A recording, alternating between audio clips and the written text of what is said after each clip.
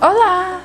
Hello! Thank you so much for clicking on this video. You're probably here because you're wondering, should you study linguistics? Whether it's an undergrad or a PhD or a master's degree, you probably wonder, is it worth studying linguistics and can you even get a job in it? I'm gonna give you some insights. I'm a PhD student in second language studies, which is very similar to linguistics, at the University of Hawaii at Manoa, and I've studied linguistics for the past 10 or so years. And I can tell you a little bit about what it's about, what, you know, job possibilities there are, and maybe what kind of programs you might want to look for if that's one of your worries. Also, if you want to see what my life is like at the University of Hawaii at Manoa as a PhD student in second language studies with my partner who's a PhD student in oceanography at UH, you can subscribe to our channel and watch our vlogs or about other tips that we have for other grad students or for incoming grad students and students at UH. Okay,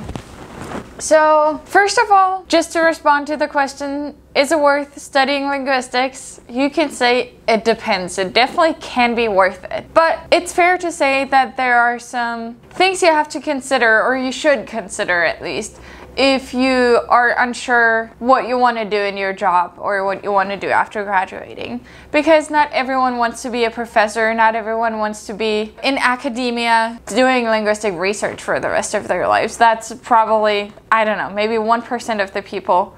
I don't know the numbers that's a tiny number of the people that actually study linguistics. And maybe it's not the most achievable thing because there's only so many professor positions out there. But if that's what you want to do, then you don't have to watch the rest of this video, then you're set. You can definitely study linguistics to become a linguistics professor. But yeah, let's talk about other options. What else you can do. And I think one of the main points to keep in mind is that there's many different kinds of linguistics. So there's linguistics, the study of languages, but there's also something called applied linguistics. And that's obviously just applying the stuff you learn in linguistics or the stuff that linguistics talks about. The good thing about applied linguistics, and there's lots and lots and lots of programs in the US and around the world in applied linguistics, they usually allow you to combine the study of linguistics with something else. You know, you apply it to something else, and that can be teaching, language teaching, but it doesn't have to be. It can even be language policies you know, the rules that we have around language, what they mean for certain groups of people, and who imposes them, and what that means for the whole society. And you can go into any language policy kind of job if you study something like that. There's, there's applications for tourism, obviously. Language and tourism is a common thing to study in applied linguistics. There's also language and psychology if you're interested in cognition kinds of things. All of those can be applied linguistics. And because you're applying the study to a real life, real world context, it's very, very likely that you'll find a job in this field because lots and lots of fields need language experts, but they prefer language experts that also know how to apply the language. Yeah, so applied linguistics definitely a thing to go into if you're worried about the job market. And another good thing about this is that it seems like the schools that are really good for linguistics are the more expensive private schools, Ivy League schools. The good schools for applied linguistics are often state schools. Um, University of Hawaii is a pretty good one. Actually, I don't know the exact ones that are Ivy League and that are not, so I'll list them. These ones are really good for applied linguistics. Another thing that can be a really, really good choice to do if you're interested in linguistics and wondering if you should do it, but not sure if it's worth it or if you'll get a job or if it's really useful in the real world, you can consider adding a minor in something non-linguistics related. So you can do a major in linguistics or applied linguistics and a minor in business. You can do a major in linguistics, applied linguistics, second language studies, and a minor in computer science, in marketing, in psychology, in a certain language, in Japanese. All of those things will equip you with lots and lots of skills that other people don't have because linguistics and applied linguistics aren't super common things to study, especially if you specialize in something like language policy, language and psychology. If you do that, you'll stand out because you're not just a business major, you're a business minor. You still have the business skills, but you know the language. If you want to go into language app design, you are the one that knows the language the best. You are the one that knows the language processes the best, how language is being learned the best, the cognition behind it.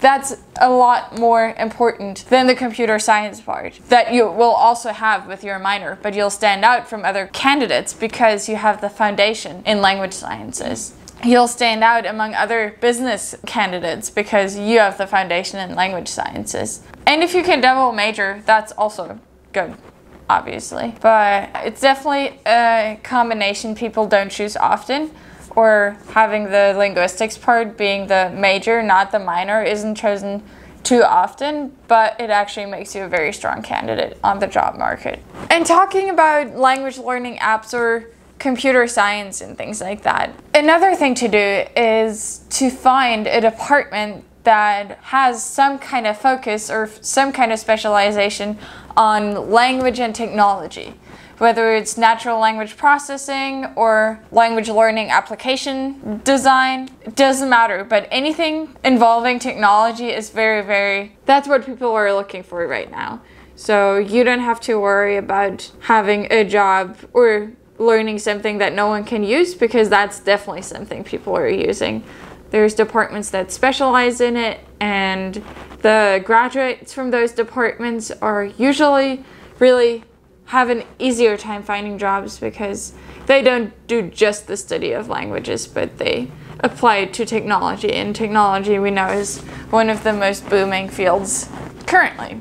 I think for that, our program University of Hawaii has a small focus in technology, but there's other programs like Purdue University that has lots of language learning and technology. And yeah, you can just put it in the comments if you want me to look or if you want me to tell you more universities that would be good for this. I can do some research. And this is the last thing that I think would be important or would be a good approach to studying linguistics if you're not sure, or if you have other interests too and you're not sure if linguistics is the one you should go for. I think a really smart choice would be to study linguistics or applied linguistics. Focus on whatever you want to focus on. I don't know if you have an interest in law, you can go into language policies, multilingualism, multilingual policies. If you're interested in teaching, you should go that route. If you're interested in language tests, you know, those language tests that you have to take for getting a certificate for being able to study abroad or something like that.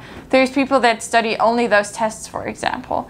If you're interested in any of those things, do applied linguistics with a specialization. You can figure that out once you're in the program. Usually they have different classes that gear towards those. And then you can still do an internship in your last year, in your third year, something like that. Do an internship during your summer that introduces you to the business world, that introduces you to the law world, that introduces you to the computer science world. And with having a minor or with having taken classes in those fields and doing an internship, you'll be very, very prepared for any job that's not academia, that's in the real world where you can apply your language skills that you have and you'll stand out because you have the language skills. And usually that's the one that's overlooked. People think if they can code an app, they think they can code a language learning app.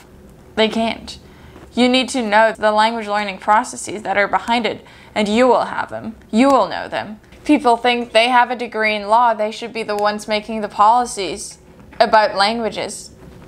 No, they need input from people like you who know about multilingualism in the real world, how people's experiences really are, how people's experiences happen, what shapes them, things like that. All of those things that you learn in applied linguistics, in linguistics, but that are super important and that you will be able to share.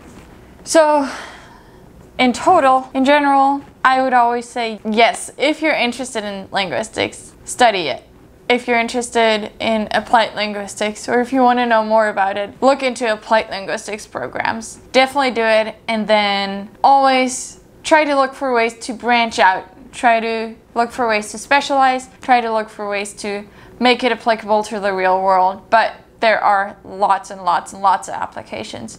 You don't have to sit at your desk all day and draw syntax trees. I don't know if you know what I'm talking about, but that's not what linguists do. That's not what they have to do. That can be you if you want to do that, but there's lots and lots of other stuff you can do with a linguistics degree. So hopefully you're gonna get one. Let me know if you still have questions. Let me know if this was helpful. Let me know if you agree, if you disagree, and what else you want to know. Thank you so much for clicking on this video. Subscribe to see other videos by us and see you in the next one.